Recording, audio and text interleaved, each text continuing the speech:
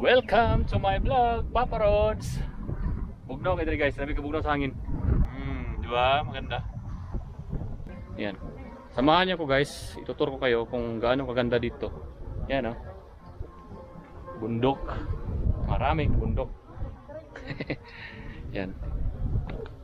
Samahan niyo ko guys para sa mga hindi pa nakapunta dito. Pwede kayong pwedeng pwede kayong mag-overnight dito. Yan, maganda guys. Sobrang ganda. Yan oh. Yun. Tuturo kayo. Tingnan natin kung anong ano pa ang meron dito. Saka pwede doon sila mag ano, mag-cater ng pwede mag-overnight. Yan.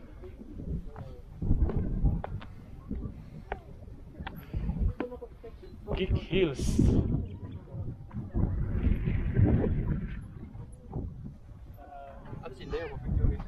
Hinday.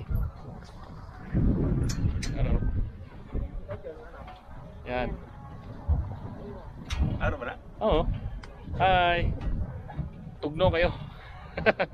Fine.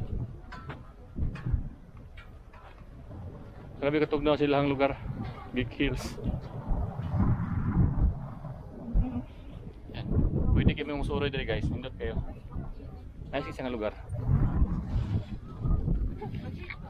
Ang family. Yan o.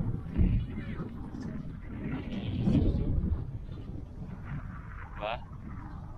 Ah, malakas ang hangin. Sobrang malakas ang hangin. Tingnan natin kung ano ang meron dito. Libain! Kasi pwede ma... Yun!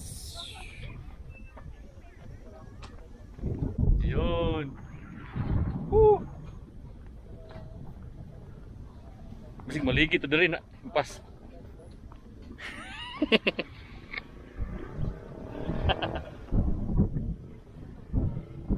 Ganda no? Ah, nice kayo. Nice kilang lugar. Under development pa rin pero so far so good naman. Yan. Hindi na tayo pupunta doon sa unahan baka ma masig maligid ta. Welcome to my vlog, Papa Rods. Bugnaw kayo dali guys, sabi ka bugnaw sa hangin. Bugnaw kayo, dagan man mga resort din, dagan mga place ka pwede sa yun. At sanahan na po dito. Pero din may karon sa Geek Hills. Yan. Kasi hindi pa namin napuntahan tong lugar na to. I mean, first time namin makagala dito. Yan. Hills.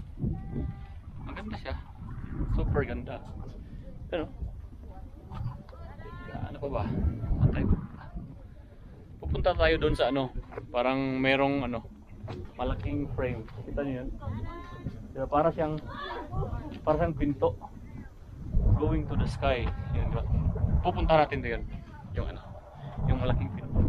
Doon tayo, Geek Hills. Kitaw-taw, Sinoda. Tsaka meron silang ganito. Yan. Yan, yan. Partner ko. Diba? Pupunta kami ulit dito tapos kasama namin yung mga kids para ma-enjoy naman nila yung place. Ano tawag dito? Duyan? Hamok? Oo. Nice. Pwede rin dito. Pwede kang dito umupo. Hmm, di ba? Maganda.